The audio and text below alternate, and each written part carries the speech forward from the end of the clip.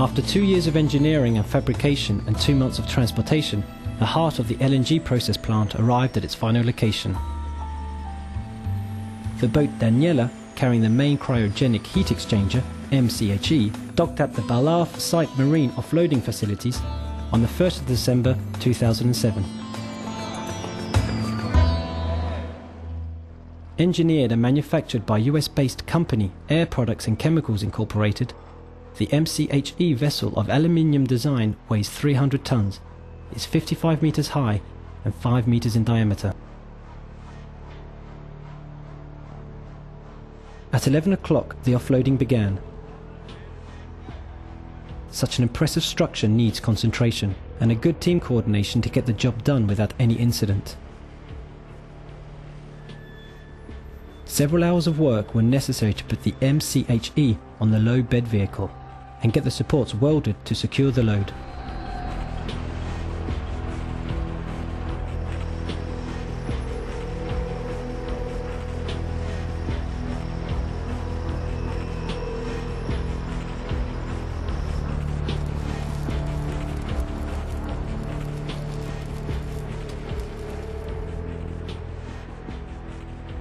On the following day and on its way to its final location was a stop at the washing area to get the equipment cleaned.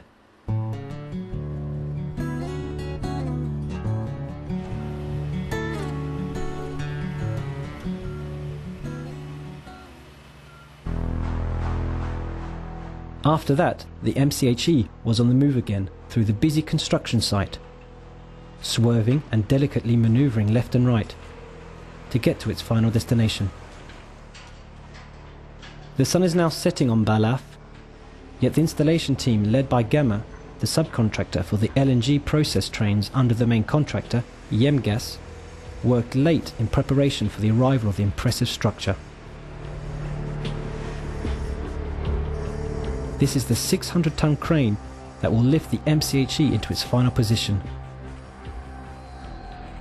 The MCHE has now been dressed with the Yemeni national flag, ready to make it fly high. The 300 tons tailing crane is getting into position on its floorboards. Here it comes, exclaimed some members of the team getting it ready to be lifted into place.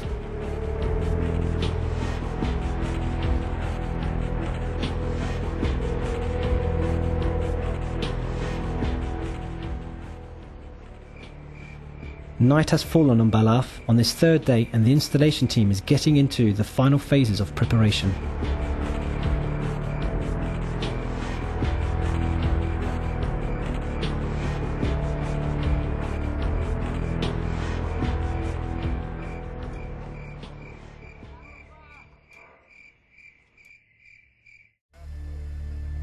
The sun is rising on Balhaf for the big day. The team is getting ready to do the lifting operation. Everything is in place. It is time now for a briefing on the operations to come. Ce qu'on pense faire, c'est tourner le timon et connecter le camion. Seulement pour tourner maintenant, il y a trop de charge. Et... Ah, tu veux qu'on Ouais, allège ouais, on mais c'est l'allège un tout petit peu. it's un petit just peu. a- That, that's why I said, let's Yeah. not, let's not lift it out of the saddle. Let's just take Yes. most of the weight off here. Yeah, yeah, exactly. It's just to give us a Like possibility it left to the turn, tourne, connect. Right. Kesinlikle o kordon sizi gördü diye davranmayın. Görülmüş olabilir. O yüzden parçanın asla asla çalışacak arkadaşlar halde kimse kalmayacak. Tamam, eğer gözünüze çarpan bir şey olursa aynınıza. Tamam. Now that everyone knows what they have to do, the serious work starts.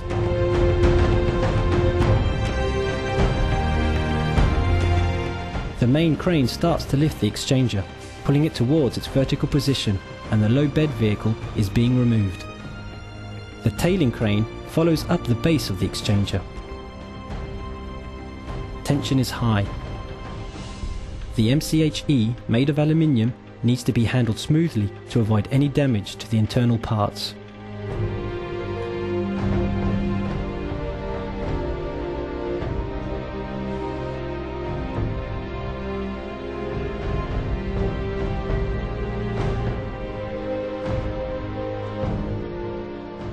The The tailing crane has now been disconnected from the exchanger, and the main crane can move into the main pipe rack to place the MCHE on its foundation.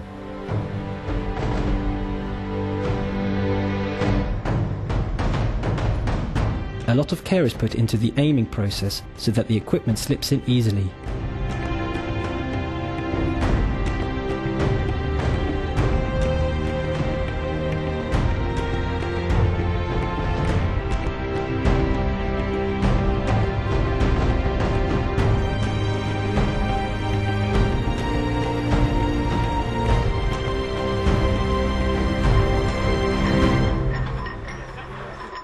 Last bolt fastening and the crane can release the weight.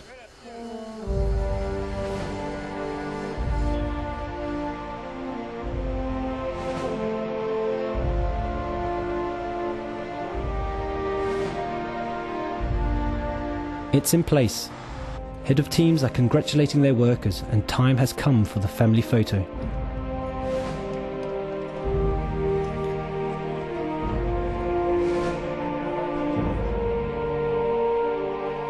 One more achievement for Yemen LNG as the MCHE was installed on the exact date it was initially planned, marking a major milestone in the construction of the natural gas liquefaction plant.